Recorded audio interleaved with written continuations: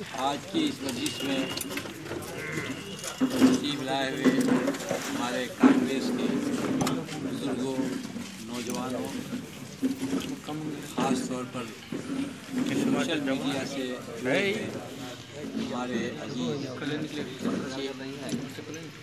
मुझे बेहद खुशी हुई कि इस मौजू पर आप लोगों ने यहाँ पर एक मीटिंग कल बुलाई और उसमें मुझको हुआ। यहाँ आकर आपके ख्याल को सुनने का और जानने का मौका मिला। आपके ख्याल सुनने के बाद मुझे एहसास हुआ कि ज़रा नम होती ये मिट्टी बड़ी जरखेज़ है साथी। यहाँ पर अभी हमारे पास बहुत क़वत है। हमारे अफराद में, हमारे बच्चों में सलाहियत है। बोलने की सलाहियत है, लिखने की सलाहियत है। बड़े बड़े मरहले को भी गुजर सकते हैं उससे। कोई भी चैलेंज ये खुशी हमको हुई। इसलिए मैं सबसे पहले आप तमाम का शुक्रिया क्या अदा करूँ। दुआ करता हूँ कि अल्लाह ताला आप लोगों को खूब खूब इसके अंदर तरक्की इस वक्त मुल्क अजीब दौराहे पर खड़ा है। ख़ास तौर पर इस मुल्क के तमाम लोगों की और नौजवानों की। ये ज़िम्मेदारी है इस मुल्क को तबाह किया जा रहा है, इस तबाही से बचाना हमारी ज़िम्मेदारी है। हमारे लिए कोई इलेक्शन या कोई सीट अहम नहीं है।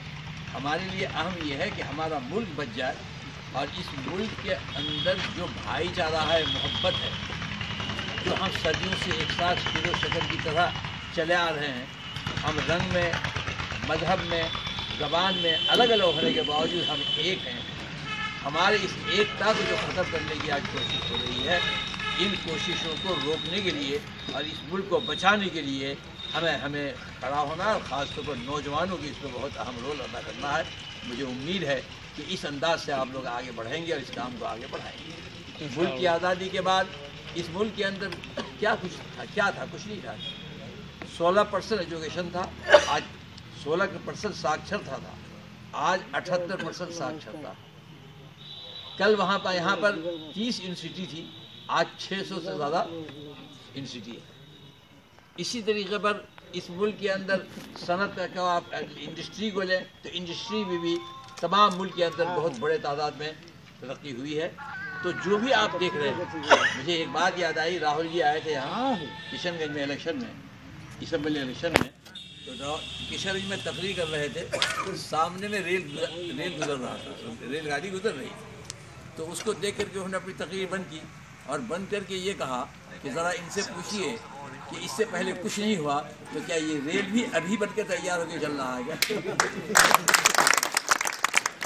तो ये तो एक चीज़ है उनके कहने का कि तमाम चीज़ हो जाए, तमाम चीज़ों के बावजूद वो ये कहेंगे कि यहाँ कुछ नहीं हो रहा है। लेकिन कहने से कुछ नहीं होता है।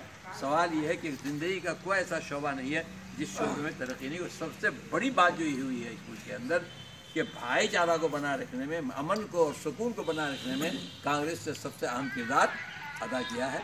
आज ये लोग खड़े होकर के उस किरदार को ख़त्म करने की कोशिश कर रहे हैं। इसलिए नौजवानों से मैं ख़ास तौर पर अपील करूँगा कि इस वक्त देश को बचाने के लिए आपको पूरी क़वत के साथ, कांग्रेस के साथ आना है, ताकि आप आकर के इस कांग्रेस को मज़बूत करें। देखिए, इस मुल्क के अंदर पूरी पूरी पार्टी और कोई पार्टी नहीं, दो पार्टी है, कांग्रेस या बीजेपी क्योंकि दो नज़रिया है। दो नज़रिया है।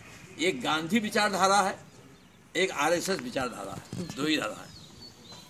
इस मुल्क में एक गांधी विचारधारा है, एक आरएसएस विचारधारा है। गांधी विचारधारा ने इस देश को आज़ादी दिलाई, गांधी विचारधारा ने इस देश को संविधान दिया, गांधी विचारधारा ने इस मुल्क के अंदर भाईचारे को कायम किया इसके अंदर मज़हब ज़ात इन तमाम चीज़ों को ख़त्म करके हर एक को ये किया। आज कहने को कहते हैं कि सबका साथ सबका विकास और सबका साथ लेकिन सबका विकास और सबके साथ के बजाय आज क्या हो रहा है कि सबका साथ तो हो नहीं रहा है और विकास क्या होगा? विनाश हो रहा है। बिल्कुल। इसलिए हमको इस देश को बचाने के लिए जो गांधी विचारधारा है इस गांधी गांधी विचारधारा को पकड़े रहना है। और इसी एतवार से हमको काम करना है। इस मुल्क में ये मुमकिन नहीं है कि किसी एक धर्म, किसी एक मज़हब, किसी एक ज़ात, किसी एक बिरादरी पर हम हुकूमत करें। इसको लेकर के हम नहीं चल सकते। पिछले इलेक्शन में हमने कहा था असम्बली इलेक्शन में कई जगह कहा, यहाँ पर बात आई, कुछ लोग आए यहाँ और आकर के उन्होंने तकरीरें की। मैंने उनसे कहा कि भाइयों, एक बार बताओ। हिंदू, हमारे यहाँ, इस इलाके के अंदर आज तक बता दो कि गरीब कौन नहीं है? गरीब हिंदू भी है, गरीब मुसलमान भी हमारा जो भी एमपी आया, जो भी एमएलए आया, आज़ादी के बाद से जो भी एमपी आया, जो भी एमएलए आया, हर एमएलए ने एक चीज़ ज़रूर सोची कि जब उन्होंने काम किया तो उन्होंने मज़हब देखकर काम नहीं किया, ज़ात देखकर काम नहीं किया, बल्कि इलाका देख करके काम किया। किसी भी एम पी में M P M L A ने इसलिए, इसके लिए काम नहीं किया कि हम सिर्फ़ मुसलमानों के लिए काम करेंगे। किसी हमारे इससे पहले जो गुजर चुके हैं, आज जो हम लोग हैं हैं, जो गुजर चुके पूरी तारीख हमारी है कि किसी M P M L A ने हमारा कभी ये नहीं कहा कि हम जो कुछ करेंगे मुसलमानों के लिए सिर्फ़ करेंगे। ये नहीं हुआ, बल्कि इस मुल्क के अंदर जो कुछ हमको करना है, अपने देश के लिए करना है। लिहाजा इस विचारधारा को बनाए रखने के लिए हमको आपस में मिलजुल करके मोहब्बत के साथ कायम करना शायद आप लोगों को याद नहीं होगा कि इस मुल्क की, इस इस इलाके की एक बड़ी खसूसियत ये है कि आज़ादी के बाद, जब यहाँ आज़ादी की पहले, आज़ादी से पहले जब आज़ादी की जंग चल रही थी, आज़ादी हासिल नहीं हुई थी तो एक, कुछ लोग मुसलमानों में खड़े हुए थे, जिसका नाम मुस्लिम लीग है। मुस्लिम लीग वालों ने ये कहा था कि हमको अलग देश बनाना है, अलग पाकिस्तान, अलग अपना मुल्क बनाना है। हमारे हिंदुस्तान के तमाम वलमा ने, तमाम मुसलमानों ने ये बात कही कि हम इस बात के लिए तैयार नहीं है कि मुसलमानों के लिए अलग मुल्क हो। जो भी मुल्क होगा, हमारा सबका सबका एक मुल्क होगा, एक मुल्क होगा, इसकी उन्होंने मुखालफत की। उस ज़माने में यहाँ पर कोशिश की उन लोगों ने कि मुस्लिम लीग का यहाँ मेंबर बने मुस्लिम लीग का मेंबर बनने नहीं दिया गया। इसी तरह हिंदू महासभा के लोग आए हमारे हिंदू भाइयों ने यहाँ पर हिंदू महासभा का मेंबर बनने नहीं दिया। इस इलाके की अलग पहचान है। इस इलाके में फिरका परस्ती चाहे टोपी पहन करके आए चाहे टीका लगा करके आए दोनों को हम लोग मुस्तरद करते हैं दोनों को हम नकार देते हैं हम किसी को नहीं मानते। बात को याद रखना चाहिए कि हम जो काम करें, काम करने के अंदर ये हमारा दिमाग में रहना चाहिए कि इस इस इलाके में या इस मुल्क में जितने भी हम लोग रहते हैं, हम एक ही ख़ानदान के हैं।